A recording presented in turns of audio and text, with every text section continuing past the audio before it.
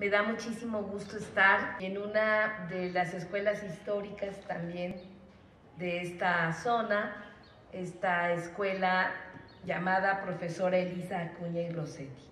Tenemos un programa muy importante que es dotar de agua purificada, agua potable totalmente a las escuelas. Así que es esta planta potabilizadora por escuela. Cada escuela debe de tener un mecanismo para que la población escolar pueda acceder al agua de manera gratuita. Es una planta potabilizadora de agua que, ojo, no va a potabilizar el agua de la red.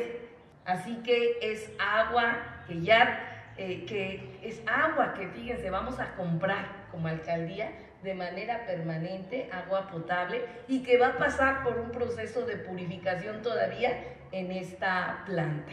Y por otro lado, tenemos un programa que se llama 1, 2, 3 por mi escuela y la comunidad escolar decide cuál es la obra prioritaria.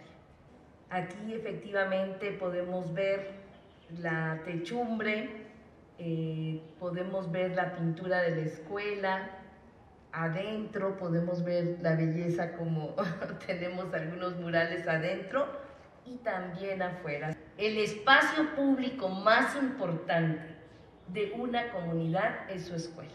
Y trabajemos para que nuestras niñas y niños regresen y vean una escuela transformada y estemos muy al tanto de lo que se necesita. Muchísimas gracias por el recibimiento. Aquí estamos para servirles.